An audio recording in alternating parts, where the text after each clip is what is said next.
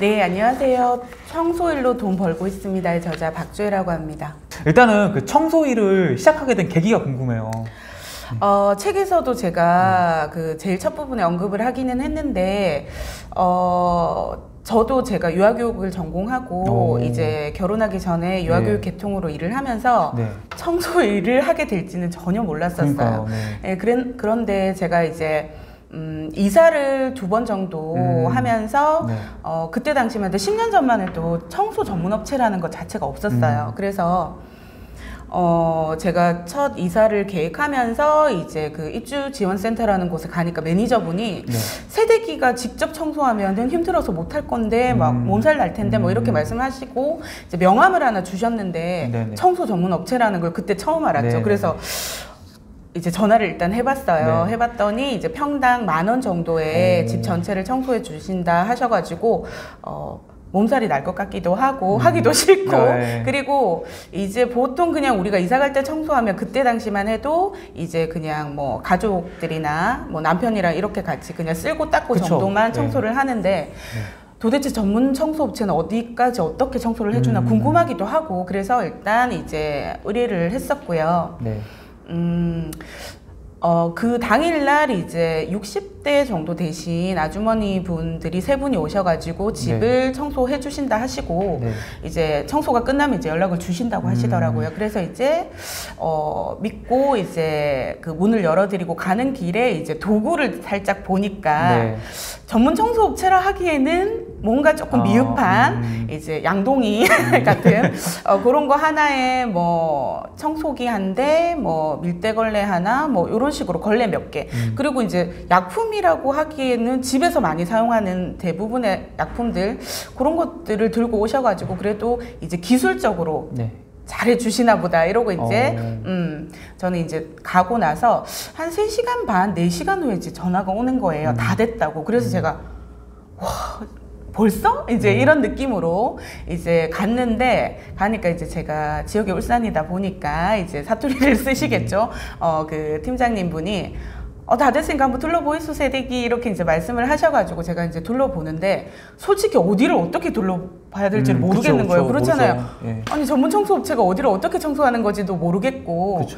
그래서 이제 봤는데 깨끗해요. 깨끗한 것 음. 같아요. 일단 신발을 신고 들어가야 되는 공간은 이제 신발을 벗고 들어갈 수 있을 만큼 깨끗해졌고 어디를 어떻게 봐야 될지는 모르겠지만 일단 깨끗해져 있는 것 음. 같아서 아 다 된 것 같습니다라고 이제 말씀을 드리고 어 또 점심 시간이 좀 끼어가지고 제가 이제 식대를 드려야 되나 말아야 되나라고 고민을 조금 네. 했는데 어 이제 다음 집으로 바로 넘어가셔야 된다고 네. 이제 말씀을 하셔가지고 이제 어 잔금을 치르고 이제 가시는 길에 그때 이제 보통 보면은 새 아파트 입주를 할 때는 같은 시기에 같이 이제 여러 세대가 입주를 그쵸. 하잖아요. 네. 그러니까 한 현장에서 이 집 저집 이렇게 하루에 막 몇 집씩 음. 청소가 가능했던 시기죠. 그래서 이제 가시면서 다음 몇 동 몇 호고 이렇게 이제 말씀을 네. 하시니까 그때 뒤에 서서 이제 생각을 해보니까 네.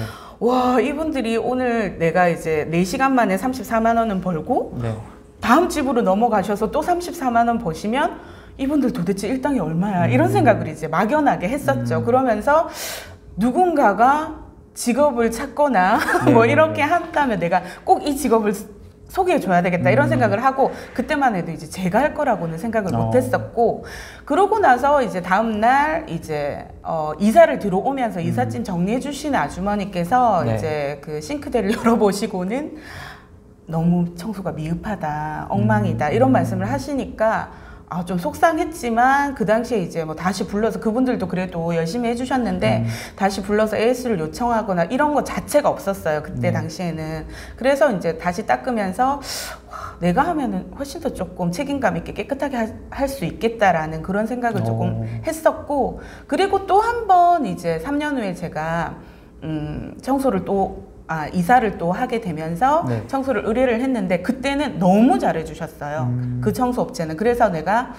하게 되면 만약에 일을 새로이 하게 되면 어, 청소업을 내가 한번 해볼 수도 있겠다라고 생각을 하면서 그렇게 시작을 하게 됐죠. 그럼 그 당시는 어떤 일을 하고 계셨어요? 그 당시에는. 어떤 일을 한다기보다는 제가 애가 셋이에요. 네. 아, 그러니까 어, 아이를 키우고 계셨군요. 아이를 키우면서 간간히 이제 친구들이 좀 도와달라면 아. 뭐 어린이집에 가서 도와주기도 음. 하고 그 다음에 혼자 재테크 같은 거 조금 하면서 네, 음. 그냥 가정 주부였죠. 그랬는데 어 막내가 막내가 좀 어리다 보니까 어 일을 시작을 해야 되나 말아야 되나 고민하던 차에 그때 큰 언니가 제가 동업을 하는데 네, 네. 큰 언니가 이제 한번 같이 해보자라고 음. 해서 이제 그때 마음을 오. 먹고 그러면 처음에는 큰 포부가 아니었죠. 네네. 처음에는 그래 우리가 어린이집 가서 하루 종일 그쵸. 애들 네. 어, 보고 이제 어머니들 상대하는 것보다 조금 더 낫고 쉴 때는 쉬고 음. 어, 그렇게 용돈 정도 벌어보자 했는데 일이 커졌죠. 아. 네. 그럼 이제 그 아까 일당 계산해 보셨다고 했잖아요. 음. 그럼 34만 원을 받아가셨으면 그분이 그러니까. 그럼 세 명이 왔으면 10만 원씩 가져가는 거네요? 맞아요? 그렇죠. 4시간 만에 10만 10만 원, 원씩이고. 이제 그럼 4만 원은 뭐, 그쵸. 뭐 뭐 약- 약품비라든지 뭐 점심비 맞아요. 빼고. 그런 거를 다 빼도 야. 두집 하면 그분들은 일당이 최소 20만 원 그렇죠, 정도는 그렇죠. 가져가죠. 세집 하면 30만 원. 그렇죠. 새 집은 세 집은 힘들겠죠. 힘들겠죠. 야. 그런데 그게 10년 전 말씀하시는 거죠? 맞아요. 10년 전. 10년 전이니까 그 정도 엄청 큰 거죠. 그렇죠. 네. 와. 아니 그러면은 어떻게 보면 제가 이야기를 들어보니까. 그 첫 번째 그 청소해 주신 분들이 너무 좀 형편없이 해주셔가지고 자신감이 생긴 거 아닌가? 청소 일에 나도 해볼 수 있겠다. 맞아요, 맞아요. 네. 약간 그랬던 것도 있고 네. 일단 시간 대비 수익이 너무 음, 괜찮다. 그러니까 제가 뭐 편견이나 이런 걸 생각할 겨를이 어, 없었어요. 너무 괜찮아서. 일단 예, 저는 만약에 제가 무슨 박사학위를 땄거나 네, 막이 네. 정도 되는 사람이라면 제가 네. 약간 아, 내가 이거 해야 돼? 어, 약간 이런- 커트라인이 네. 정해졌을 것 같지만 네. 이제 애들 보다가 어, 주부들 사이에서 우리가 이제 뭐 그런 거 있죠. 오늘은 누구 집에 가서 차 한잔 네, 마실까? 뭐 이런 거 할때 음. 솔직히 그렇게 시간 죽이는 게 물론 교우관계가 돈독해지고는 하지만 음. 저는 좀 그런 시간들이 아깝게 느껴지기도 어. 했었거든요. 그랬는데 음, 그거 할 바에는 뭐 파리바게뜨에서 빵을 포장하는 그런 거 네. 하면 3시간에 하루에 3시간 근무에 한 달에 50만 원 정도. 그렇죠. 그러니까 좀 그 금액이 세진 않잖아요. 그쵸, 그래서 그쵸. 그런 일들도 하러 가세요. 음. 주부들은 음. 시간대 괜찮으니까 이제 애들 보내놓고. 네네. 근데 그런 거 생각하면 이거는 괜찮죠. 예, 예, 네, 시간 대비. 너무 수익이 괜찮아서 음. 저는 어, 편견이나 이런 거를 그때는 솔직히 어느 정도로 제가 그런 시련을 겪게 될지 몰랐고 음. 일단 약간 조금 무대포 같은 성격도 어. 있기 때문에 일단 시작을 했는데 네. 이제 그런 거는 현장에서 아주 어. 많이 겪게 됐죠. 아 그럼 일단 처음에 그 하기로 딱 하셨을 때 네. 그 일단 뭐 친척분이라든지 아니면 친구들의 반응이 궁금해요. 그러니까 처음부터 나 이제 청소일 할 거야 라고 해서 이제 뭐 말씀하셨는지 아니면은 아 나도 좀 청소하기 좀 얘기하기 좀 그렇고 가볍게 하는 거니까 얘기 안 하다가 이게 너무 커져가지고 그냥 알게 된 아니에요. 거지. 저는 그런 스타일 아니에요. 네. 저는 굉장히 자랑을 했어요. 아 그래요? 어떻게 자랑? 뭐라고 자랑하셨어요? 어, 나 청소 업체 운영할 거라고 어, 네, 하니까 네, 네. 다들 네. 너무 안 어울리는 거 아니냐. 음. 뭐 네가 청소를 엄청 힘들다는데 일단 어, 누구 한 명이라도 와, 니 진짜 잘할 것 같다. 뭐 네. 와, 그거 진짜 괜찮은 아이템이다라고 네. 얘기해 준 사람은 단 한 명도 없었어요. 어. 신랑도 마찬가지. 어. 부모님은 아마 걱정해서 그랬을 것 같고 음. 이제 친구들은 좀 의외라는 반응을 음. 어, 보였는데 저는 그냥 아이템 하나만 보고 뛰어들었고 부끄럽거나 이렇진 않았어요. 어. 일단 내가 울산 청소시장을 잡아보겠다라는 어, 야, 야망 야망. 일단 시작하면 좀 약간 그런 스타일이에요. 음, 되든 안 되든 음. 중간에 이제 제가 책에도 적었지만 중간에 하다가 너무 힘들어가지고 네. 하, 내가 큰 소리 친 거를 어떻게 이제 어, 무마할까 하는 그런 이유들을 고민해 본 적도 있는데 일단 어, 힘든 시기는 분명히 있죠. 모든 일들이 그쵸, 그랬던 것 네. 같아요. 적응 네. 기간이 필요하고 힘든 시기가 분명히 있는데 하면 할수록 저는 네. 어, 책에도 계속 언급이 됐지만 청소뿐만 아니고 입주 시장 자체가 굉장히 무궁무진해요. 음. 근데 왜 내가 청소만 하고 있어야 될까? 이거를 이제 접목해서 수익을 이끌어낼 수 있는 품목들이 너무너무 많은데 네. 하면서 이제 이제 꿈이 점점 커지기 시작하면서 어. 신이 났던 것 같아요. 어. 음. 아 그러면 이제 그 그러니까 외부에서 보는 시선이 굉장히 이중적인 생각이 들거든요. 그러니까 어떤 의미에서 그러냐면은 일단은 청소 뭐 아무나 할 수 있어. 맞아요. 근데 내가 해 하긴 그래. 어떻게 보면 이게 진입장벽이. 없는 듯 있는 듯 하거든요. 맞아요. 이게, 네. 그러니까 이게 저는 이게 청소업에 대한 좀 편견 때문에 그런 것 같아요. 어, 대표님이 진짜 정확하게 말씀을 하셨는데 책을 내고도 네. 와 나 당장 아카데미로 뛰어가서 배워야지 하면서도 네. 내가 청소 일을 약간 이런 네. 느낌이에요. 그래서 진입 장벽이 높은 듯 낮은 듯. 어, 그리고 저도 마찬가지였어요. 처음에 음. 이제 청소 일을 배우긴 배워야 되는데 네. 그 당시에 청소 학원은 전국에 단 한 군데도 없었어요. 오. 어, 국비 지원 포함해서 사설 학원도 없었기 때문에 네, 네. 어, 이제 배우긴 배워야죠. 분명히 제가 이제 어떤 시간 안에 몇 명이 들어가서 어떤 공간을 어떤 도구로 어떤 약품을 이용해서 청소를 하는지 네. 몰랐으니까, 전혀 몰랐으니까. 그래서 이제 배워야 되는데 배울 곳은 없고. 그러니까 한켠으로는 배울 것이 없나 보다. 음, 그쵸 그쵸. 아, 이런 가- 가르칠 게 없나 어, 보다. 맞아요. 네. 오만한 결론을 내리기도 하고 음. 그 다음에 그래도 이제 다른 이제 전문적인 청소 업체들은 어떻게 청소하는지 좀 궁금해가지고 음. 제가 이제 위장 취업을 했죠. 그쵸, 예. 어, 위장 취업을 했는데 어, 실질적으로 사장님이 어, 제가 처음에 이제 맡았던 공간은 화장실이었는데 화장실을 어떤 식으로 청소해야 되는지를 안 가르쳐 주시고 청소 많이 아, 해봤지? 아. 한번 해봐 하니까 그냥 집에서 했던 것처럼 열심히 했던 음. 거예요. 근데 나름 이제 책임감이 있다 보니까 정말 작은 부분까지 깨끗하게 이제 청소를 해야 된다는 그 마인드로 네, 네. 하다 보니까 이제 사장님이 손이 너무 느리다고 음. 화장실 한 공간을 제가 이제 3시간이 넘도록 청소를 하고 있었다 하고 아 몰랐어요 진짜 네. 너무 집중해서 하느라고 네. 좋게 보면 이제 집중력이 네. 좋고 책임감이 강한 거지만 네. 사장님 입장에서는 굉장히 그쵸, 속 언짢으셨겠죠 뭐. 나 그러면서 내일부터 올 필요 없다 음. 해가지고 그리고 이제 어깨 너머로 조금 이제 보니까 이제 특별한 게 없어 보였어요 음. 실질적으로 그래서 이제 업체에서 찾거나 뭐 이럴 부분들이 한정돼 있기 때문에 울산 말고 다른 지역에 있는 이제 음. 서울이라든지 대구라든지 부산에 있는 어, 큰 업체들 잘 운영하고 있던 큰 네. 업체들을 벤치마킹하기 시작했죠. 오. 그러면서 울산에서 전혀 청소하지 않았던 구역인 뭐 벽지를 닦는다든지 네네. 서랍을 완전히 탈거를 해서 음. 안에 먼지까지 다 제거를 한다든지 이제 뭐 전등 커버 분리하기 뭐 네네네. 이런 것들은 울산에서 저희가 다 처음으로 어. 시도를 했고 네. 그다음에 하수구 배수구 다 분리해서 음. 거기 이제 소독 작업까지 하고 뭐 그런 것들을 저희가 많이 했었어요. 음. 아 근데 그 탈거 이런 거를 해도 이제 청소할 때 다 나가 있잖아요. 알 수가 없는? 그러니까요. 그게 노하우죠. 그러니까 네. 처음에는 이제 청소 다 끝나고 오시면 고객님들이 저희 집 이거 탈거한 거 맞아요 라고 물어보시는 음, 그쵸, 고객님들도 예. 계셔가지고 음. 저희가 이제 그것들을 사진을 찍어서 이제 아. 전송을 해드리기도 했는데 어. 어. 떤 고객님들은 이거 우리 집인지 어떻게 알아요? 어, 이렇게까지 수도 말씀을. 하세요. 예. 그래서 저희 같은 경우는 이게 저희 업체만의 노하우였는데 네, 고객님이 오실 때 완전 전체 찰, 탈거가 돼 있는 상태로 아, 검수를 하는구나. 합니다. 아. 그러면은 이제 고객님 안에 다 보세요. 직접 보셔야 돼요. 그래야 아. AS가 없습니다.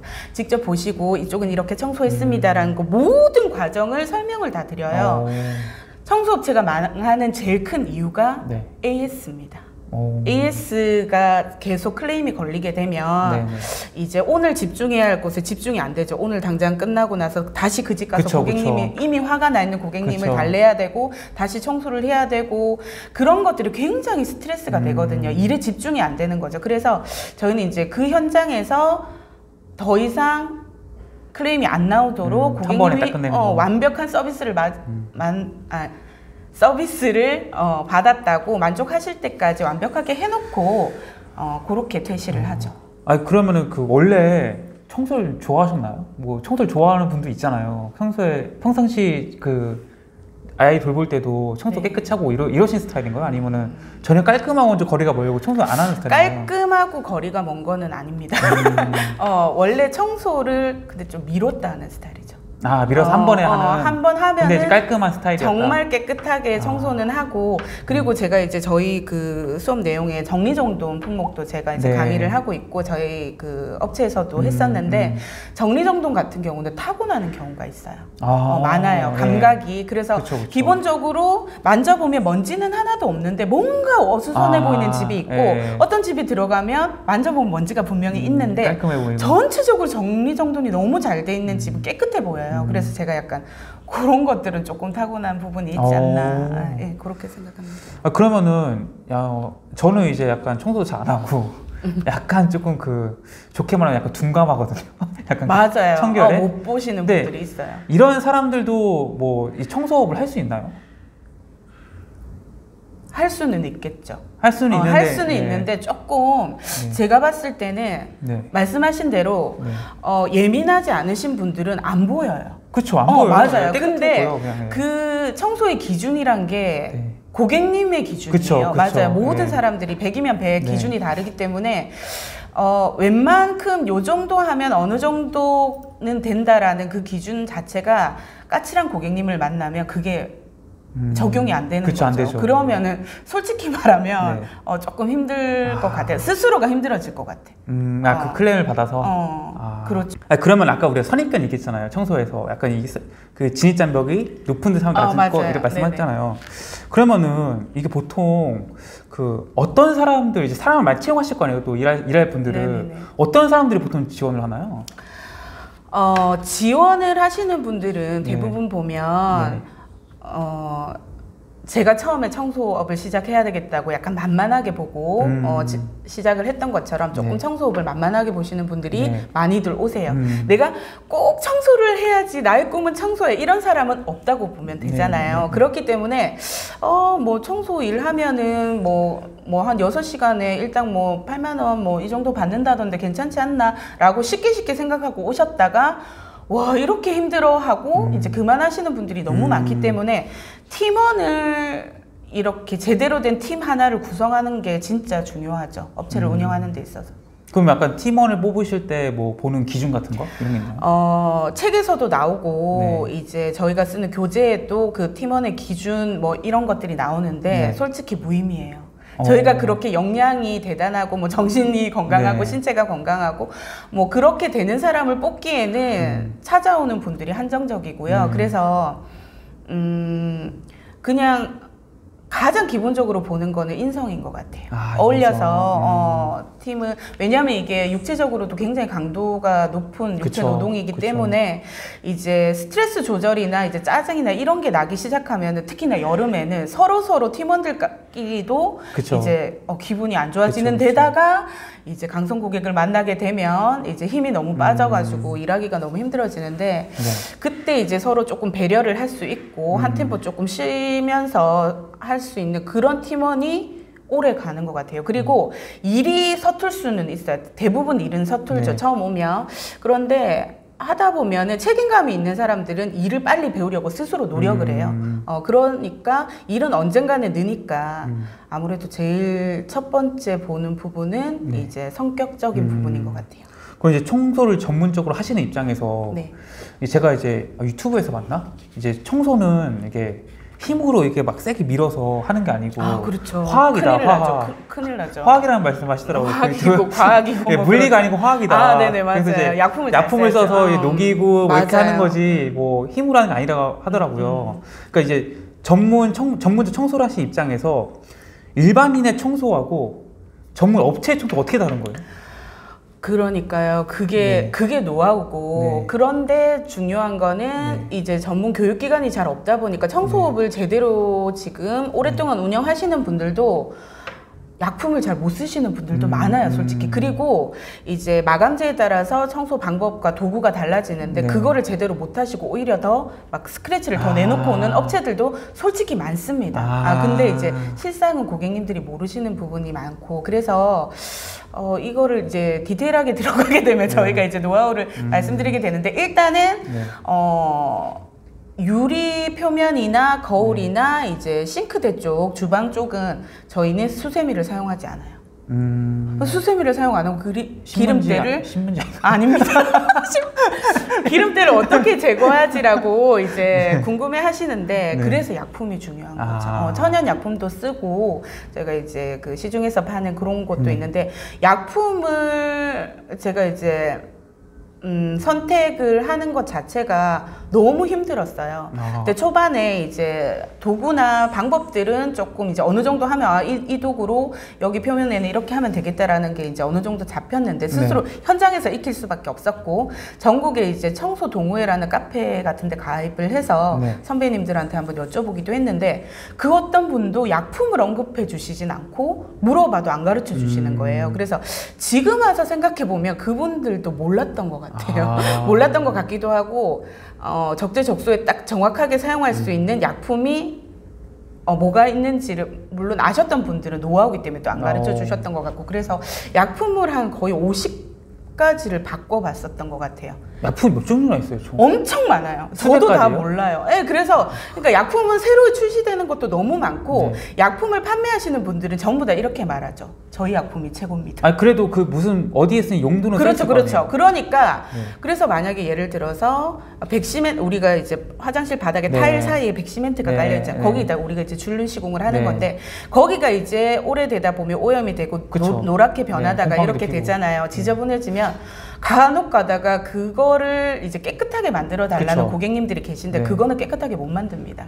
이제 원래? 노란색으로 변한 거는 표면은 깨끗할 어, 수도 있지만 색상 자체를 변하게 할 수는 없어요. 음. 그래서 백시멘트를 그 줄눈 사이를 하얗게 만드는 약품이 있다고 이제 추천을 해주시는 거예요. 업체에서? 네네. 어, 업체가 아니고 어, 약품 업체죠. 약품 업체, 약품 예. 파는 업체에서 해보면 안 돼요? 안 됩니다. 똑같아요. 어. 그래서 어 그냥 이름만 보고 사가지고 필요도 없는 약품을 음. 사느니, 그러니까 저희 훈련생님들한테는 네. 이제 공간별로 꼭 필요한 약품은 딱 집어가지고 제가 요것만 아. 구매를 하면 된다라고. 그럼 이게. 그 업체별로 그러면 이게 약품이 다 다른가요? 다를 수도 있는데 대부분 이제 유명한 약품들은 많이들 음. 아, 알고 계시죠. 대세 네. 약품이 있군요. 네, 근데 이제 저희 훈련 이제 아카데미에도 현장에서 일을 하시다가 오시는 분들도 계세요. 음, 근데 네네. 그런 분들이 그러면 이제 저도 궁금하죠. 분명히 이름이 있는 업체에서 일을 하셨다고 네. 저도 알고 있는 업체라서 네. 그래서 이제 거기는 어떤 약품 써요라고 물어보면 네. 어 조금 당황스러운 왜 왜? 왜 그런 약품을 거기다 쓰지 싶은 그런 아. 약품을 쓴다고 말씀을 하시고 그러니까 이름 있는 업체들도 정확하게 이제 맞는 약품을 쓰지 않는 경우도 음, 있는 거죠. 음. 우리가 요시 우리가 음식점 보면은 네네. 뭐 떡볶이집만 보더라도 이제 각각 이제 그 재료들을 배합을 해서 양념 만들잖아요. 네네네. 그 약품들도 이제 셀프 제조도 하나요? 뭐 섞어 천연 약품은 저희가 만들어서 쓰기도 하는데요. 어. 그래서 이것도 이제 천연 약품 만들기 같은 것도 이제 네. 뭐 인터넷에도 많이 나오기도 하고 뭐 가탄산소다 이런 거를 네. 기본적으로 쓰기도 하는데 네. 어 진짜 찌든 때 같은 거는 솔직히 시중에서 파는 세제가 제일 잘 들긴 해요. 그래서 음. 저희도 조금 고민을 했었던 부분이 네. 처음에는 이제 천연 약품을 만들어서 썼었는데 네. 고객님들이 선택 을 하시게 되는 거죠. 음. 천연약품 써서 조금 미흡한 청소를 원하시느냐 아니면 기존에 판매하는 음. 약품을 써서 조금 이제 냄새가 조금 음. 나더라도 근데 솔직히 30분 정도 환기시키면 다 날아가요. 음. 그러니까 그 조금 센 약품을 써서 완벽하게 깨끗하게 하느냐 하면 대부분의 고객님이 아니고 100%가 후자를 선택을 하세요. 그쵸, 그래서 이제 저희는 약품을 섞어서 쓰죠. 음. 아, 천연 그럼- 약품도 네. 준비하고 음, 그럼 천연으로 하면은 이게 더 비싼가요? 청소비가? 아닙니다. 아, 똑같습니다. 똑같아요? 네네. 저희가 선택의 이제 문제군요. 어, 필요에 따라서 음. 지금 찌든 이제 그 오염에 따라서 음. 선택해서 사용을 하기 때문에 음. 이 청소일을 하게 되면은 가장 많이 받는 클레임은 뭐예요? 뭐 어, 어, 느 부분에서 네네 가장 맞아요. 많은- 딱 정해져 예, 있습니다. 예, 예. 어디가 제일 많냐면 네. 도배풀.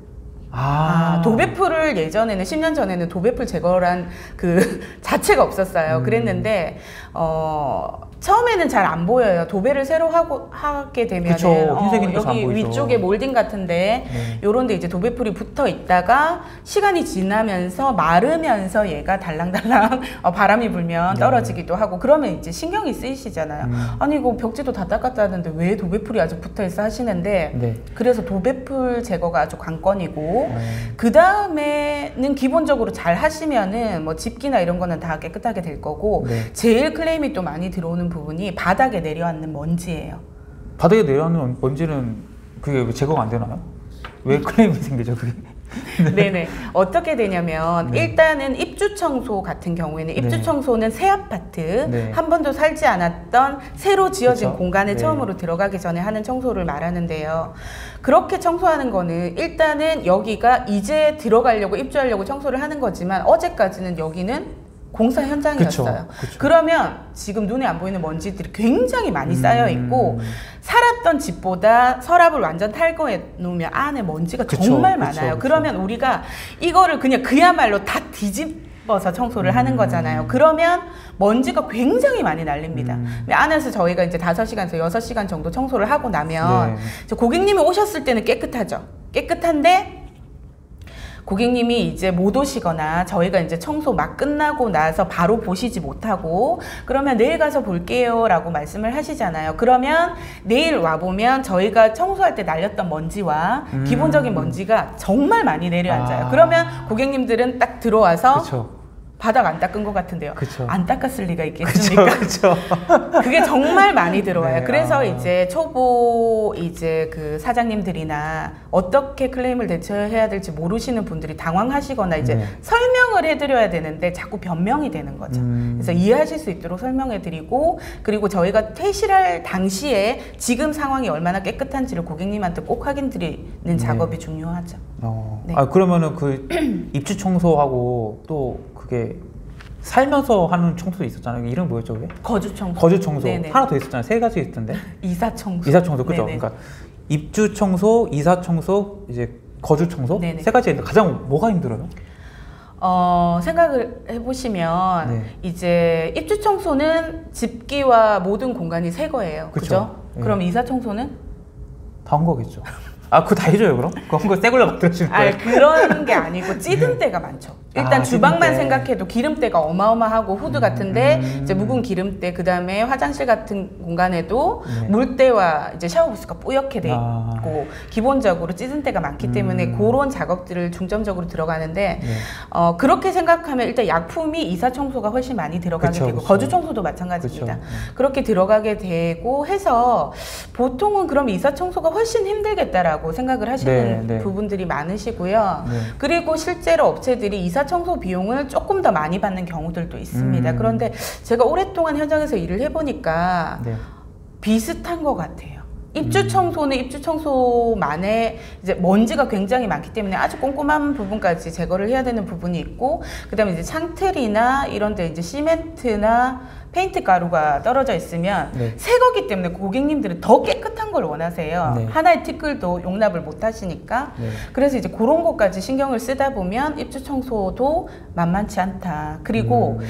before after를 보시면은 이제 고객님들이 만족도가 이제 확 올라가죠. 특히나 제일 만족도가 높은 건 거주 청소예요. 음. 어. 왜냐하면 내가 살았던 공간이니까 그쵸, 그쵸. 얼마나 오염이 심한지 아시잖아요. 그쵸. 그러면 이제 깨끗해지면 너무 좋아하시고 음. 이사 청소 같은 경우는 이분들도 집을 보러 왔을 당시에 잠시만 봤지 이 집의 오염 상태가 어느 정도인지를. 모르시잖아요. 네. 그렇 그렇다 하더라도 기본적으로 이제 아, 이런 굉장히 더럽던데 거기 좀 음. 신경 써주세요 하셨던 부분들이 깨끗해져 있으면 너무 좋아하세요. 음. 그런데 입주 청소 같은 경우는 어디가 달라졌는지 고객님들이 잘 못 찾아내시고 음. 설명을 드리면 아우 너무 깨끗하네요라고 하지만 약간 가끔씩 돈을 아까워하시는 분들이 계세요. 음. 그래서 우리가 이제 결과적으로 청소를 마무리할 때 고객님들의 반응에 의해서 저희가 하루에 피로가 풀리거나 음. 아니면 스트레스가 더 쌓이기도 하는데 어, 그런 면에 있어서는 저는 또 이사 청소도 괜찮다고 생각을 해요. 그 입주하고 이사 청소는 네. 이제 다 빈 공간이신 거잖아요. 그렇죠. 아무것도 없어요. 근데 거, 거주 청소는 네네네. 짐이 다 있잖아요. 네, 맞아요. 그럼 이거 뭐 예를 들어서 뭐 장을 옮기고 침대 아닙니다, 아닙니다. 그렇게는 안 해요. 그래서 어떻게 하는 거예요? 집기를 만약에 이제 집기가 많이 안- 없는 경우에는 네. 안에 조금 정리도 같이 들어가지만 네. 대부분은 옷장이나 이런데 그 다음에 주방에도 싱크대 안에 모든 집기가 다 들어있기 네, 때문에 그런 것들은 그냥 놔두고 이제 네. 문 위주로 청소하고 대신 네. 창틀이나 바닥이나 뭐 다른 공간은 똑같이 음, 하지만 네. 어막 가구를 옮긴다거나 그렇게까지는 안 해드리죠. 아, 가구를? 닦아드리는 거죠. 아 가구를 음, 닦는 거나. 네. 아. 이제 그 책에서 좀 인상 깊었던 게 네네. 클레임 발생보다 클레임을 대처하는 게 훨씬 더 중요하다. 그렇죠, 그렇죠. 네, 어떤 이거는? 어, 제가 저도 처음에는 이제 누군가 이런 부분에 대해서 말씀을 해주신 적도 없었고 네, 그렇죠.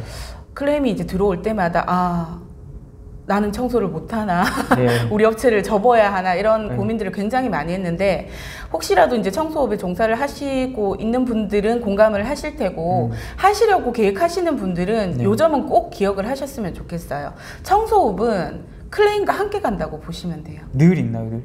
늘 있죠. 근데 그거를 없애는 게 노하우고 관건인데 이제 어느 정도 이제 하셨던 분들은 아 클레임 안 걸리게 하려면 요, 음. 요렇게 하면 된다라는 아마 그런 요령들이 생겨 생기셨을 네. 수도 있을 것 같고요. 그런데 일단 클레임이 들어오면 아까도 말씀드렸지만 고객님의 기준이 다 다르기 때문에 정말 깨끗하다고 생각했는데 정말 희한한 걸로 클레임이 들어올 때가 있어요. 뭐 그러면 어떤 게 들어오죠? 아, 이거는 좀 악의적인 아, 네, 클레임입니다. 그래서 이제 청소와 관련 없이 아. 이게 멀쩡했는데 왜 기스가 음. 났어요. 근데 그런 분들은 제가 이제 오랫동안 겪어보니까 돈입니다, 돈. 아, 깎으려고. 처음에는 너무 죄송해가지고 우리가 이제 했는지 안 했는지 확인이 안 되는 그쵸. 경우도 있고 해서 이제 얘기를 하면 그분들은 목적이 정해 있기 때문에 대화가 안 통해요. 음. 그래서 스트레스를 많이 받았어요. 괜히 우리가 그런 것 때문에 청소를 잘 해놓고 업체 이미지가 훼손이 될까봐 스트레스를 많이 받았는데 지나고 보니까 그런 분들은 스트레스 받을 이유가 없죠. 그냥 원하시는 거 그냥 드리고 음. 깔끔하게 그냥 다음 일에 집중하는 게 훨씬 낫겠더라고요. 음. 그래서 아 고객님 저희가 신경 쓴다고 썼는데 그 부분은 저희가 했는지 기존에 있었는지 저희가 확인이 안 되니까 뭐 요 정도는 그냥 넘어갈 수도 있을 것 같지만 고객님 이제 그 음. 조금 기분이 상하셨다면 저희가 그러면 잔금에서 한 5만 원 정도 음. 하면 네 바로 대답을 하세요. 어. 목적이 달성이 됐거든요. 음. 어, 그러면은 그냥 드리고 잊어버려요. 왜냐하면 그쵸. 그분들은 돈이 목적이라서. 한 번 더 찾아와서 AS 해주고 이런 걸 원하지를 그쵸, 않으세요. 그쵸. 어, 맞아요. 간 다음에 오지 마라 그러세요. 음. 진짜 다 그래요. 음. 희한하죠. 그래서 어쨌든 그런 분들이 있고 그래서 대부분의 이제 클레임이 들어오면은 이제 일을 하고 나서 끝나고 나면은 가끔은 걸레 하나 들 정도로 너무 드는 것도 힘들 정도로 음. 너무 힘든데 그때 이제 우리가 이렇게 깨끗하게 청소를 해놨는데 정말 별거 아닌 걸로 이제 그 클레임을 걸기 음. 시작하면 사람인 이상 짜증이 나죠. 그쵸, 짠맛이. 아 정말 그 이거를 이렇게까지 해놨는데 요거 요거 지워지는데요? 뭐 이렇게 이제 얘기를 하시면 음. 조금 힘들죠. 그래서 이제 그런 거를 잘 컨트롤을 마인드 컨트롤이 필요하고 네. 그때 이제 고객님한테 변명을 하는 것보다는 고객님 거기 아까 다 했는데요. 아까 여러 번 닦아봤는데요. 이렇게 돼요 사람이 그쵸, 피곤하다 그죠, 보면. 그죠, 그죠. 그리고 특히나 청소업을 조금 만만하게 보시고 뭐 그렇게 하시는 분들은 내가 청소만 잘하면 청소업을 운영할 수 있겠다 생각하시는데 청소업이 정말 정말 서비스 정신이 필요한 음. 어, 업종이라고 생각을 해요. 그래서 이거는 몸도 힘들면서 마인드 컨트롤까지 하면서 웃으면서 상냥하게 고객님 아까 닦아봤는데 그럼 고객님 앞에서 한 번 더 닦아봐 드릴게요. 한 번 더 닦아 드릴게요. 이게 아니고 그러면 또 기분 네, 나빠하시니까 나쁘죠. 어, 네. 굉장히 엉누르면서 팀장님 여기 한 번만 더 닦아주세요 하면 그렇게 하면 안 지워지는 걸 자기가 눈으로 확인을 하면 그때는 그쵸, 말이 없으세요. 그쵸, 그쵸. 그러고 나서 고객님 이렇게 다 마무리했으니까 저희는 이제 퇴실을 하겠습니다라고 하면 모든 서비스를 자기가 만족스럽게 받았다라고 음. 생각을 하시면 이제 클레임도 없고 아 이거는 아까 사장님이 이렇게 될 경우에는 이렇게 하라고 분명히 말씀하셨는데 진짜 이렇게 됐네 하면 클레임을 AS 요청을 하는 게 아니고 자기가 그 부분을 닦고 마무리를 하세요. 음. 그래서 검수하는 부분이 굉장히 중요하죠. 야. 음. 아, 그, 이, 이, 이런 이제 청소라는 게 네. 이제 뭐 노동이 굉장히 많이 들어가고 그렇죠. 뭐 아까 말했던 약품 그거 있으면은 할 수 있는 거잖아요. 그렇죠. 일단은 시작은 할수 있잖아요. 뭐 그렇죠, 기업을 그렇죠. 운영하는 게 아니고 맞아요, 예. 맞아요. 아, 네 네. 이 청소업이라는 걸 누군가 창업을 한다고 했을 때 얼마 정도면 할 수 있나요? 이게? 어, 책에도 나오는데요. 네. 제가 처음에는 이제 기준점이란 게 없었죠. 네. 어, 약품을 어떤 걸 어떻게 준비를 해야 그쵸. 되고 도구를 어떤 걸 몇 개를 준비를 네. 해야 되고 청소기는 몇 개를 들고 들어가고 이런 거에 대한 기준점이 하나도 없어서 참 돈을 많이 버렸죠. 음, 어, 일단은 뭐 스팀 청소기만 해도 처음에는 이제 좋은 걸 한번 써보자 생각을 네. 해서 막 몇십만 원짜리를 두 대를 구매해보고 막 이렇게 저렇게 시행착오를 겪어가면서 지금 딱 기준이 돼서 그것만 구입하면 이제 바로 차가 있는 경우 음. 어, 아반떼급 정도 네네. 이상이면 가능할 것 같습니다. 청소만 할 네. 경우에. 그렇게 될 경우에는 200만 원 정도면 이야, 시작을 하실 수 있죠. 200만 원이면 이제 보통 세 명이 한 팀인가요? 네, 세 명이 한 팀이라고. 지금도 그럼 평당 한 30, 한 1만 원이에요? 평당? 평당 1만 원은 근데 참 요게 지금 올라야 된다고 저는 생각을 네. 하는데 아직도 평당 만 원을 받는 아. 업체들이 많고요. 근데 지금은 그래도 이제 어느 정도 잘 하시고 책임감 있게 음. 하시는 분들은 평당 12,000원에서 13,000원 받으시고 음. 잘하는 분들은 제가 아는 사장님도 평당 15,000원을 받으시는데 어 예약이 2개월이 쭉. 차서 갑니다. 와. 그래서 이제 고객님들이 어, 청소를 10년 전만 해도 청소를 업체에 맡긴다고 돈을 주고 이렇게 생각하셨던 분들이 이제는 청소는 그쵸. 업체에 맡겨야지 예, 네. 라고 해서 뭐 리서치 조사에 의하면 네. 입주 청소 이사할 때 입주 청소를 맡기는 경우는 거의 뭐 90% 이상이라고 음. 말씀을 하시더라고요. 그렇다면 이제 대부분의 고객님들이 이사를 하실 때 청소를 선택을 하고 그리고 이미 청소 서비스를 이용해 보신 분들이 많아요. 그럼 네. 이제 비교를 하시기 시작하는 그쵸. 거죠. 내가 평당 만 원, 구천 원에 이제 맡겨봤는데 다시 내가 다 했다. 이런 음. 분들은 다음에는 조금 이름이 있고 돈을 제대로 지불하더라도 그쵸. 내가 제대로 된 네. 서비스를 받겠다 하시는 분들은 조금 고가라도 어, 지불을 하시고 만족스럽게 어, 서비스를 제공받으시는 음. 거죠. 그 200만 원 들고 만약에 뭐 창업을 했어요. 현실적으로. 네네. 그럼 딱 단순 계산했을 때는 뭐 세 명의 한 팀이 30만 원씩 받아서 그럼 10만 원씩 떨어지니까 어, 그렇진 않죠. 아, 세 명이 한 팀이 이뤄서 이제 네. 청소를 하더라도 그 중에 사장님이 계시잖아요. 대표. 어, 그렇죠. 예. 대표님, 그 고객님을 응대하고 기본적으로 팀원들을 가르치고, 음. 그 다음에 이제 뭐 식대라든지 이제 아. 차량 이동비 이런 걸 다 대시는 대표님이 분명히 존재하시고 네. 만약에 세 명이 전부 다 각각 돈을 내 가지고 음. 처음으로 세 명이 동업을 70만 시작했다면 그게 가능한 거죠. 그런데 아, 예. 아 근데 이제 차량일 또 네. 되는 사람이 있고 막 그렇게 그쵸. 되니까 그 그러면 이제 3분의 1로 쪼개는 게 맞는데 어, 아니니까 네. 사장님이 대부분을 가져가시고 그분들은 네. 일당으로 받아 가시는 아, 거죠. 아, 그럼 예를 들어서 뭐 공동 그러니까 간편에 공동 창업을 했다 할게 100만 원씩 내고 아, 네네네. 300을 가지고 음. 공동 창업했어요. 그렇다면 괜찮죠. 괜찮아요. 어. 그러면 그러면은 이 팀이 이제 막 이제 우리 으쌰으쌰 했단 말이죠. 영상 보고서 음, 나도 해보자 해서 100만 원씩 우리 출자하자. 또 아반떼에서 내거 끌고 음. 그 기대해 볼 수 있는 수익은 얼마예요? 처음에 이 초보 팀이 얼마를 벌 수 있어요? 아, 초보 팀이 네. 일단은 제가 정확하게 기준을 한번 잡아볼게요. 네네. 34평 기준에 보통 이제 우리가 기대 수익이 어, 지금은 평당 12,000원으로 한번 계산을 해볼게요. 그러면 네. 40만 8천원이거든요. 네. 그러면은 어, 초보 팀이 과연 하루에 두 집을 할 수 있는가? 그건 조금 힘듭니다. 음. 어, 그리고 예. 체력적으로 지쳐가지고 네. 이건 우리가 못할 일이다 하면서 어, 쉽게 포기를 하실 네. 수가 있어요. 그래서 제가 이제 훈련생님들한테도 늘 말씀드리는 게 처음부터 그저 뭐 그 너무 과하게 욕심을 음. 내면 금방 지치기도 하고 네.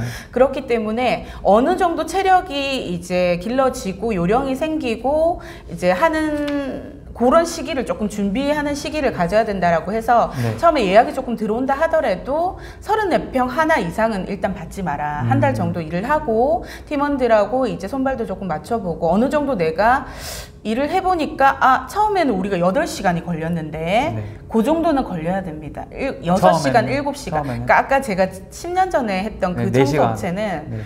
그야말로 휘뚜루 마뚜루 아, 일이 너무 넘쳤나 보다. 그러니까 네. 그렇게 그리고 그때만 해도 그런 네. 디테일한 기술들을 어, 배워야 할 필요성을 못 음. 느끼셨죠. 왜냐하면 업체는 한정돼 있고 사람들은 너무 넘쳐나니까 그래서 저희가 이제 처음에 새로운 그 공간들을 청소하기 시작했을 네. 때 욕을 많이 먹었습니다. 음. 왜 고객님들은 모르는데 거기까지 해주냐고. 어, 어, 그랬던 시기가 있었고. 그래서 이제 어느 정도 이제 합이 맞춰지기 시작하고 네. 우리가 처음에는 7시간, 8시간 걸렸던 집이 지금 이제 6시간 정도에 끝나네. 어. 요렇게 되면은 이제 아, 그러면 우리가 이거 끝나고 바로 34평 하나는 못 하더라도 음. 원룸이라든지 20평대 음. 하나 정도는 청소를 더 할 수 있겠다라는 네. 그런 이제 그 체력 안배라 해야 되나 그런 게 음. 느껴져요. 음. 그러면 그때부터 시작하면 되고 근데 우리가 생각 외로 자리가 잘 잡혀서 꾸준하게 일이 하루에 두 네. 개 정도 들어온다 하면 네. 그때는 실질적으로 저희가 이제 훈련생님들 중에 두 분이 오셨어요. 두 음. 분이 오셔가지고 같이 이제 동업을 하기로 했는데 그분들은 한 달 만에 일이 많이 들어와서 팀을 따로따로 분리를 했어요. 이야. 각 각이 사장님이 되신 거죠. 오. 그렇게 해서 팀원을 잘 구축만 하면 수익은 많이 낼 수 있고 그래서 청소만 열심히 한다 하더라도 한 달에 음, 주말은 다 쉬고요. 대충 계산이 나오나요? 사장님이 보통 하루 일당을 한 20만 원 정도 음. 가져가시거든요. 그럼 20일 하게 되면 400만 원 정도 되겠죠. 음. 아 그럼 근데 사실 이게 포인트가 제가 봤을 때 일감이 그렇게 많냐 이거 그렇죠, 같거든요. 그렇죠. 마케팅이 중요하죠. 근데 현실적으로 봤을 때 그냥 뭐 내가 창업을 딱 했어요. 네. 그럼 어, 어떻게 홍보를 하죠 이걸? 그 수업이 저희가 이제 업체를 운영했기 때문에 네, 마케팅 수업도 저희가 네. 포함이 돼 있어요 수업 네. 내용에. 근데 그런 것까지 디테일하게 말씀드리기는 좀 그렇지만 일단 지금은 기본적으로 블로그는 음. 하- 해야 되는 부분이 있고요.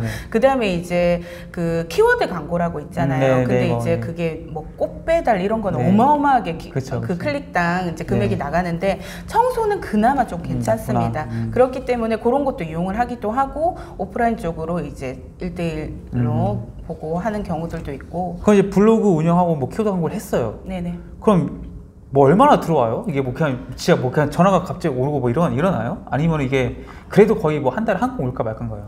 아니죠. 많이 옵니다. 많이 생각외로 와요? 좀 오. 와요. 그리고 처음에는 이제 네. 온라인만 믿고 있는다기보다는 어 이제 그 뭐 공인중개사라든지 그런데 아. 어, 인테리어 음. 좀 찾아가면서 그렇게 하시면 음, 될것 같고 음, 음. 그렇게 하면 이제 하나하나 왔을 때 정말 소중하죠 초반 그쵸, 때는 그쵸. 어 그럴 때는 가서 이제 열심히 해주고 대신 참 이제 말씀하시는 분들이 지금 걱정하시는 게 뭐 어떤 부분이 있냐면 네. 이미 입주 청소 업체는 너무 많지 않아요?라고 네. 말씀을 하시는 분들이 많고 네. 지금 대표님도 그런 표정이신데 네. 어 제가 8년 전에 시작할 때도 이 말을 하는 사람이 많았어요. 아, 청소업체 이미 많은데 니 그거 해가지고 되겠나 뭐 이렇게 음. 말씀하시는 분들이 많았는데 그거는 어떤 직업이나 다 마찬가지라고 그쵸, 생각을 그쵸. 해요. 그죠? 음. 편의점도 마찬가지고. 뭐 어, 너무 많지만 되는 데는 또 되잖아요. 되죠. 어, 사장님의 마인드가 중요하고 어떻게 헤쳐 나가는지 그것만 이제 방향성만 정확하게 가지고 계신다면 처음부터 그러면 내가 한 달에 20개씩 해야지 30개씩 해야지 하시는 분들은 쉽게 지치세요. 음. 근데 처음에는 천천히 가자라고 하시는 분들이 오래 가시죠. 음. 어, 그러다가 요거는 정말 입소문이 큽니다. 청소라는 것 자체는. 음. 왜냐하면 미흡한 업체가 너무 많기 때문에 조금만, 조금만이란 거는 편집해주세요. 네네. 자기가 최선을 다하기만 한다면 고객님들이 어, 다른 분들을 너무 많이 소개를 해주세요. 음. 그래서 저희가 업체를 한 6개월 정도 운영하고 나서는 광고를 일절 안 했습니다. 오. 소개만으로 야. 저희는 예, 물량이 많이 찼었어요. 야. 네. 아니 이게 이게 지금 보면은 뭐 생각보다 이제 뭐 광고 뭐 블로그라든지 키워드 광고 했을 때 뭐 문의도 많이 오고 근데 제가 봤을 때는 이게 청소라는 게 뭐 입주 청소는 뭐 그렇다 쳐요 뭐 예를 들어서 뭐 이사도 이사도 사실 뭐, 뭐 3년에 한 번 정도 가는 그렇죠, 거니까 그렇죠. 자주는 안 가죠. 이게 아. 재구매가 잘 일어나는 상품은 아니란 말이죠 그렇죠, 그렇죠. 그렇죠 네네. 그러면 봤을 때 이게 뭐 내가 아무리 이걸 뭐 고객 만족시켜도 사실은 음, 가격으로 비교하기 쉬워지고 왜냐하면 경험해 보지 못했으니까 그러니까요. 저도 네. 처음에는 그렇게 생각했어요. 네. 그래서 처음에는 우리 그 업체를 홍보하기 위해서 네. 이제 막 마케팅 쪽으로 생각을 하다가 우리가 뭐 마트 앞에다 전단지를 붙일까 막 했는데 네. 생각해 보니까 우리가 후라이팬을 파는 게 아니거든요. 네. 그거를 본다고 이 사람이 지금 당장 이거를 구매를 그쵸. 하는 게 아니에요. 그쵸, 그쵸. 그냥 저런 게 있구나 하고 저장. 정도는 해놓을 네. 수 있겠지만 근데 저도 그래서 1년에 아니면 평생 두 번, 세 번 정도 이사하면 그게 아마 적당할 거라 생각하고 음. 아니면 이사를 안 하시는 분들도. 계신데 네. 그래서 우리는 어, 단골 고객이란 개념이 없을 거라 생각을 예, 했었어요. 예, 예. 그런데 그 고객님이 서비스를 한번 받아보고 너무 만족을 하시면 친지부터 음. 엄마, 아빠 다 이제 음. 엄마, 아빠가 따로 사네. 음. 어, 그리고 부모님 때, 그 다음에 아. 이제 친척, 친구들 무조건 거기서 해라고 이제 음. 말, 추천을 많이 해주세요. 그리고 중요한 부분은 이제 제가 책에서도 조금 그 긴 분량으로 언급을 했었는데 공동구매라는 게 있잖아요. 네네네. 입주 아파트들이 보통 천 세대에서 몇천 네. 세대가 같이 같이 입주를 하다 보면 이제 거기는 대부분이 입주 청소는 해야 되시는 그쵸, 분들이에요. 그쵸. 그러면은 이제 요 업체도 있고 저 업체도 있고 후기들을 찾아보고 내가 직접 경험을 해봤는데 이 업체는 너무 잘한다 하면 그런 시기에는 저희는 이제 예약이 넘쳐나서 음. 못 받을 정도로 계속 음. 그렇게 되는 거죠. 음. 그럼 이제 반대로 이제 청소 업체를 구하는 사람 입장에서 어떻게 선별해야 돼요? 그럼 그 과정 속에서? 어, 이게 참 애매해요. 그죠? 왜냐면 전화해보면 사장님들은 다 자기 네. 그쵸. 업체가 최고라고 네. 말씀을 하시기 때문에 네. 어, 그래서 제가 봤을 때는 그 인터넷에서 보통은 검색을 하셔서 후기를 한번 찾아보실 음, 거예요. 음. 그래서 후기를 한번 찾아보시는 게 일단 중요할 것 같고요. 네. 그 다음에 이제 네이버나 다음이나 이제 후기를 찾았을 때 기본적으로 블로그에서 올라오는 그런 것들은 살짝 이제 광고, 음. 어, 돈을 주고 그쵸, 후기를 네. 작성한 부분들이 있기 때문에 네. 그리고 그런 것들을 조금 중점적으로 보고 근데 광고라 하더라도 그 업체가 운영하는 블로그를 직접 들어가 보고 물량이 조금 많거나 이제 후 사진들을 음. 확인해 보면 꾸준히 하는 업체들은 기본적으로는 아. 한다고 보시면 돼요. 그리고 이제 그 사장님이랑 통화를 하면서 혹시라도 이제 지역 업체인지도 물어보시고 음. 어, 그 다음에 이제 혹시 그 어떤 서비스를 제공하는지 이제 꼼꼼하게 조금 여쭤보셨을 때 사장님이 막힘없이 자기의 소신대로 서비스나 그런 부분을 친절하게 안내해 주시는 분들이라면 좀 믿고 맡기셔도 될 것 같고, 아, 어차피 손대야 되니까 나는 네. 저렴한데 해야지 하시지 마시고, 네네. 그래도 지금 통상 가격이 한 12,000원 정도 되니까 그 정도 수준이 되는 어, 그 정도 수준이 된다는 거는 우리가 제공하는 서비스에 어느 정도 자신감이 있다는 음. 뜻이니까 그런 업체에 맡기시면은 크게 이제 낭패를 보는 일은 없을 것 같아요. 이 청소 업체도 전국적인 프랜차이즈가 있을 거고 개인이 하는 것도 있을 거고 네네. 지역마다도 있을, 음, 있을 음, 거 아니에요. 근데 일반적인 고객이 시작을 봤을 때는 그래도 큰 데가 뭔가 체계도 좀 잡혀 있고 잘하겠지. 그리고 개인을 좀 영세하지 않을까 이런 편견이 있을 수 있잖아요. 음. 이거에 대해서는 어떻게 생각해요? 그런 거 걱정할 필요 없나요? 이거는 청소업은 사람이 하는 일이에요. 음. 그래서 우리가 무슨 LG 서비스 센터를 이용한다거나 네. 그 본사에서 직원들이 나오는 게 아니고 네 네. 어, 우리가 서울에 일이 있다고 해도 울산 사람이 서울까지 갈 수는 없어요. 네. 그래서 어, 이것 자체가 프랜차이즈라는 개념 자체가 저는 음. 처음에 도입이 됐을 때 좀 의아하기도 했어요. 음. 왜냐하면 이름을 그냥 갖고 오는 거고 음. 울산이나 부산에 있는 대구에 있는 업체들을 그냥 섭외하는 네, 거죠. 네. 그렇게 해서 팀으로 합류가 되는 건데 음. 그래서 꼭 이름 있는 업체라 해서 잘하는 거는 저는 아니라고 생각을 해요. 어, 게. 그리고 솔직히 얘기를 하면 개인적으로 책임감 있게 저 잘하시고 네. 하시는 사장님들도 굉장히 많으시고 음. 그렇게 전국 체인망으로 하시는 분들은 리뷰 자체를 뭐 포인트를 얹어 준다든지 할인율을 적용해 준다든지 해서 리뷰도 조금 만들어내는 경우들이 있지 않나라는 음. 생각을 하기 때문에 네.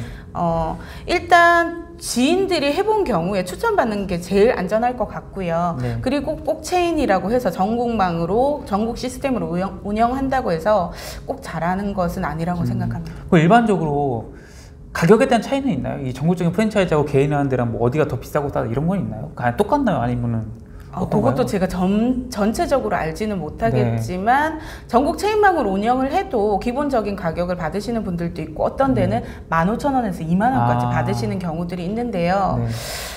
간혹가다 그런 경우들이 있다고 들었습니다. 음. 그 업체들이 2만 원을 받고 네. 현장에 있는 이제 그 지역에 있는 12,000원을 받는 업체를 섭외해서 음. 나머지만 이제 받아가는 식으로 그렇게 운영하는 업체들이 있다고 들었어요. 그래서 음. 어, 그런 것들도 한번 알아보시고 선택을 하시면 좋을 것 같아요. 음. 아 그럼 그러면은 이게 개인이 더 쌀 가능성이 높네요. 그럴 수도 있죠. 음, 네네. 음, 네. 그 지금 이제 청소 국비 교육학원을 만드셨잖아요. 네네. 뭐 제가 이제 책에서 봤을 때는 세 군데, 네 군데? 아니요, 아니요, 한 군데예요. 아 국비 교육은 한 군데. 아, 아, 네. 전국에서 네, 전국에서. 그러니까 제가 운영하는 곳은 울산이고요. 음. 어, 전국에서 국비 네. 청소 국비 지원 학원은 이제 서울에 한 곳, 대전에 한 곳, 저희 음, 세 군데. 네네. 어. 그 여기서는 어떤 것들을 지금 이렇게 가르쳐 주시는 건가요? 어, 일단은 제가 처음에도 말씀드렸다시피 네. 청소 처음에 시작하려고 했을 때 배울 데가 없었어요. 그쵸. 그리고 어, 저희가 청소업을 조금 하기 시작하고 이제 현장에서 일을 막 하다 보니까 주변에서 이제 저희 업체를 보고 이제 대충 계산을 하신 건지 어, 돈 많이 벌겠다 하면서 가르쳐 달라는 사람이 너무 음. 많았어요. 진짜로 많았는데 저희가 이제 현장에 뛰어다니면서 이제 일을 하다 보니까 청소를 가르쳐 줄 시간도 없었고 공간도 없었고 가르치게 되면 또 제대로 가르쳐야 되는데 그렇게 되면 저희의 노하우를 밝힐 수밖에 없고 그쵸 그쵸. 그렇게 되면 이제 경쟁자를 더 많이 그쵸. 키우는 게 네. 되고 그래서 이제 조금 생각을 하게 됐어요. 근데 나중에는 언젠가는 교육을 조금 하고 싶다라는 음. 생각을 했었고요. 그 다음에 이제 그 줄눈이라든지 저희가 이제 그 국비 지원 학원에서 네. 청소만 가르치는 건 아니죠. 네. 줄눈이라든지 연마라든지 인테리어 필름, 뭐 코팅, 정리정돈 이런 것들을 다 접목해서 청소와 접목해서 수익을 창출할 수 있는 그런 품목들을 여러 개를 가르쳐 드리고 음. 있는데 그런 거를 배우러 다닐 때도 마찬가지였어요. 국비 학원이 없어요. 음. 네. 다 사설 학원이고 일단 교육비가 어마어마하게 비싸요. 음. 2박에 이제 이틀 교육에 뭐 300만 원, 음. UV 코팅 같은 경우는 500만 원, 음. 뭐 이런 식으로 해서 가르쳐 주시는데 저희가 이제 어쨌든 품목에 대한 교육을 받아야 되고 일단 사장님이 다 할 줄 알아야 되고 팀장님이 있다 하더라도 그래서 그 어마어마한 교육비를 내고 전국을 돌아다니면서 다 배웠어요. 줄눈만 솔직히 한 두세 군데서 배운 것 같아요. 음. 근데 그렇게 큰 비용을 내고 배워와서 현장에서 딱 적용을 해보면 이거를 왜 안 가르쳐 줬지? 음. 아니 이건 기본인데 왜 이런 걸 안 가르쳐 줬어 하는 부분들이 너무 많았어요. 음. 그러니까 근데 항의도 못 하죠. 그분들이 그쵸. 뭐 어디 그 우리가 항의를 제출할 수 있는 그런 네. 기관도 아니었고 그냥 사무실 한 켠에 조그맣게 사설로 하셨던 분들이라 그래서 이제 만약에 내가 하게 되면 제대로 음. 어, 가르쳐야 되겠다 이런 생각을 하다가 이제 울산시장의 그 입주 시장이 조금 소원해지기 시작할 때 이제 언니랑 같이 음. 어, 준비를 한번 해보자라고 그렇게 해서 이제 학원을 시작을 했는데 중요한 거는 많은 분들이 오셔서 배워 가셨으면 좋겠고 이제 아직까지 이제 입주 시장에서 돈벌이가 괜찮죠. 어, 많은 수익을 얻을 수 있는 부분임에도 불구하고 제대로 체계적으로 가르쳐 주는 곳도 없을 뿐더러 금액이 너무 비싸서 음. 어, 교육비부터 부담이 되는 거예요. 네. 그래서 저희도 물론 그랬지만, 근데 저희는 이제 현장이 잡혀 있었기 때문에 교육을 받으면 바로 이제 세이브가 됐었는데, 음. 어, 만약에 이제 지금 완전히 바닥을 한번 치신 분들이나 지금 이제 재기하려고 하는데 금액적으로 너무 부담스러우시는 분들도 이제 도전하실 수 있도록 진입장벽을 조금 낮춰보자 해서 국비 지원을 생각하게 됐고요. 그리고 국비 지원을 준비하면서도, 어, 그때만 해도 서울 쪽밖에 없었어요. 음. 서울밖에 지금 세 군데인데 서울 네. 쪽밖에 없기 때문에 이제 그 이거 승인을 인증 평가해 주시러 오신 교수님들이 이제 어떤 기준 자체가 없었기 때문에 굉장히 우리 같이 당황하면서 네, 네. 어, 교재도 저희가 다 만들고 했어야 됐기 때문에 조금 과정이 힘들긴 했는데 어쨌든 2년에 걸쳐서 준비를 하고 음. 그렇게 승인을 받았죠. 아 그럼 이 국비 교육 학원에서 교육을 하면은 네. 말 그대로 뭐 아까 잠시 얘기했지만 이 진입장벽이라는 게 참 애매하잖아요. 어 대표님 입장에서 작가님 입장에서 이제 아, 이게 경쟁자를 양성하는 게 아닌가 이 생각이 당연히 들 수밖에 없다 생각하거든요. 그래요, 맞아요. 그래서 네. 저희가 처음에는 1년 정도는 저희가 업체를 운영하면서 같이 교육도 같이 음. 했었어요. 그런데 어느 순간 이제 생각을 해보니까 네. 저희가 이렇게 저희 노하우를 다 가르쳐 드리긴 했죠. 그리고 네. 근데 이제 여기 오신다고 다 창업을 하시는 건 아니에요, 네, 사실은. 그쵸, 그쵸. 한 기수에 많으면 두팀 음. 정도 그렇게 한 기수 이제 몇 명이죠?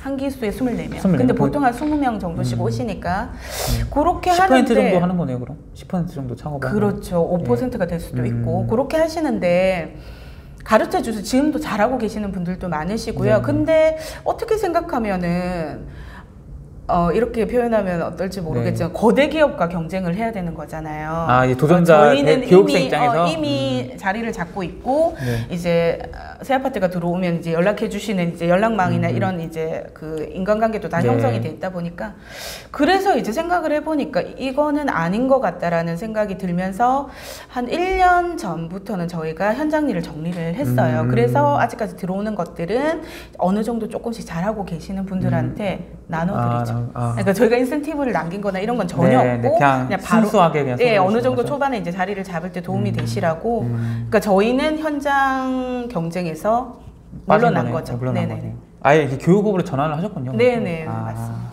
아, 그러면 이게 그 거대 그 기업이라고 표현하셨잖아요. 이 거대 기업과 그 개인의 그 경쟁력의 차이가 이게 뭐 화학약품에서 비롯되는 거야 아니면 뭐 장비에서 비롯되는 거야 아니면 뭐 마케팅에서 비롯되는 거 어디서 차이가 나는 거예요?